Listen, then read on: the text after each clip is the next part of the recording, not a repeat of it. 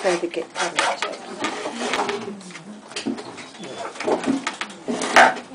So did I tell you guys about the great variety of clogs already? No. No? Well, we have a great variety of clogs in Holland.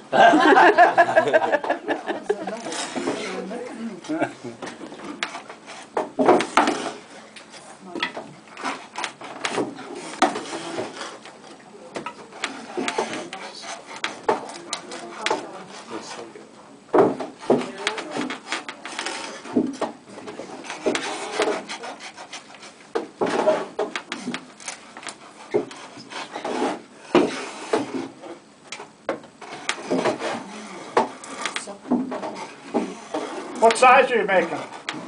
It's gonna be your size. if it doesn't fit, don't worry, I can always adjust your feet a little bit.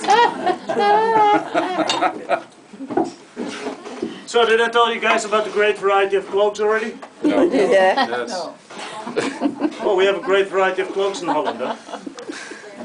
This here is a fisherman's shoe. You can recognize it by its pointy nose. The fisherman uses the point to pick up his nets without bending over all the time.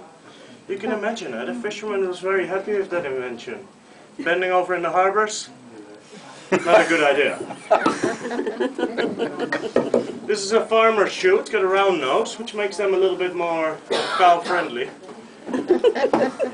This one is very special. This is a wedding shoe. It was tradition when a boy wanted to marry a girl, he had to carve her a pair like these. Aww. Let's try that again. It took him about four weeks, but it did give him some extra time to think it over again. …